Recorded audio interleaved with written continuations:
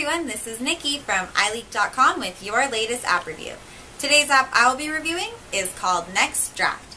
Next Draft is a new news app that was created and ran by one guy. This guy's name is Dave Pell. The reason he did this is his simple love and joy for the news. So basically, Dave Pell wakes up every morning and spends his first couple of hours reading a ton of different news articles to find the 10 most fascinating ones for all his viewers of his app. Then he posts all 10 fascinating stories in his own witty manner by about 1 p.m. Pacific time. Let's check it out. So when you download NextDraft, this is the first screen you will see.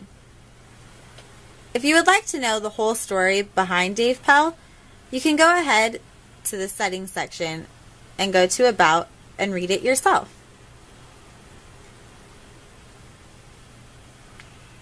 Right here, you can see is the different days that he posts his news articles. Here's August 29th, 2012. His first news article, Got Cloud you can see it's just a short, little witty segment on what he read. You can click the arrow right here to go to his next news article, and so on to read all 10. That's pretty much how Next Draft works. So, if you're really into news like Dave Pell is, then I think that this app is for you. I know not all people have the time, like Dave Pell, to spend all morning sitting on the internet reading news article after news article.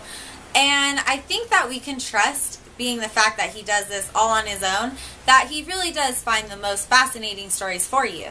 So instead of trying to spend hours on the computer before work reading the news articles, just download Dave Pell's app and read the 10 most fascinating ones in quick little blurbs.